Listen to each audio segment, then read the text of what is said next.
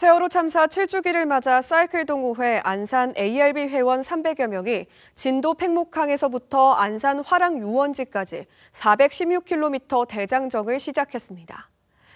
동호회 회원들은 15일 오전 7시 30분 진도 팽목항을 출발해 충남 부여를 거쳐 16일 안산 화랑 유원지까지 달리게 됩니다. 주행에 앞서 윤화섭 안산시장과 회원들은 팽목항에 설치된 추모 조형물 앞에서 희생자를 추모하고 묵념했습니다.